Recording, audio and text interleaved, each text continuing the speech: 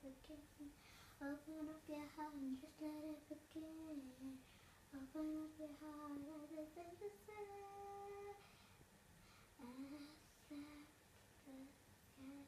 begin.